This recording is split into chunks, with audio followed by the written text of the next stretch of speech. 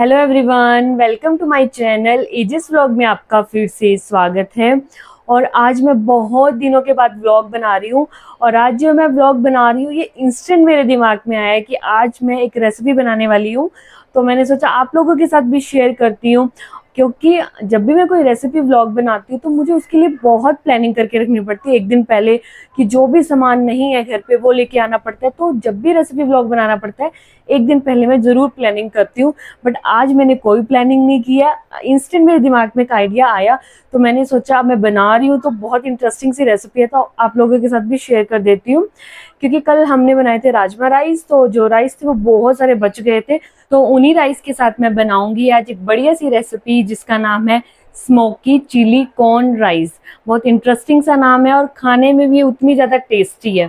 तो चलिए स्टार्ट करते हैं आज की मज़ेदार recipe friends smoky chilli corn rice बनाने के लिए सबसे पहले मैंने यहाँ पे लिए तीन टमाटर, एक प्याज और चार कलियाँ लहसुन की।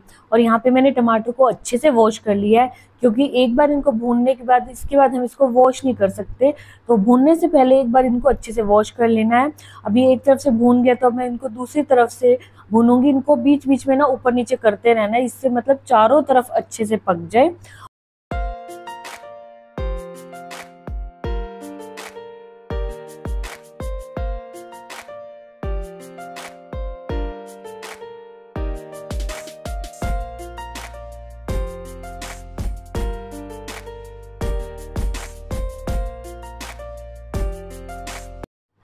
टमाटर, प्याज और लहसुन के भूनने के बाद इसको मैंने 10 मिनट के लिए ठंडा करने के लिए रखा था और उसके बाद छिल रही हूँ क्योंकि गरम गरम में बिल्कुल भी छिले नहीं जाते तो पहले इनको ठंडा करना है, फिर इनको छिलना है। देखिए, अभी आराम से ईजिली छिल रहे हैं और इसके बाद मैं इसको ग्राइंड करूँगी।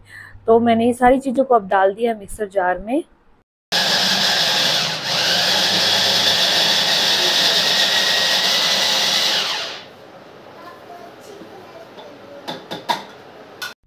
तो यहाँ पे हमारी टमाटर, प्याज, लहसुन की प्योरी बन के बिल्कुल रेडी है और इसमें से बहुत बढ़िया खुशबू आ रही है।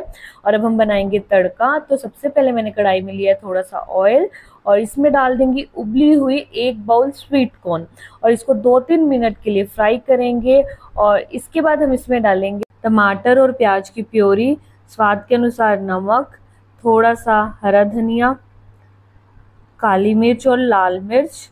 फिर इन सारी चीज़ों को अच्छे से मिक्स करेंगे और थोड़ा सा पानी डाल के इस मसाले को पकाएँगे।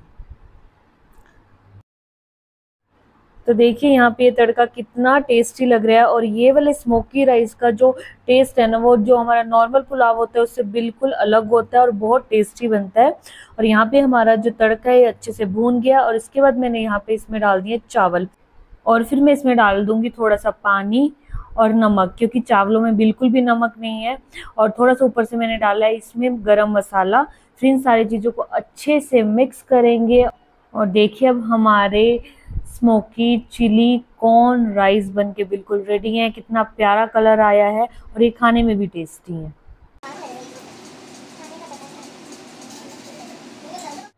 तो आज राइस सबसे पहले मैं टेस्ट कर रही हूँ। यहाँ पे मैंने ली है ग्रीन चटनी और इस चटनी का शॉट भी मैंने कल डाला है तो उसको भी जाके ज़रूर देखना। और उसके साथ ये मिक्स करके खाए हैं मैंने और ये इतने टेस्टी लगे खाने में ना, अभी ये मैं बाद में वॉइस ओवर कर रही हूँ और उसका टेस्ट ना मेरे मुँह में अभी भी आ गया इतने ज़्यादा टेस्टी बने हैं।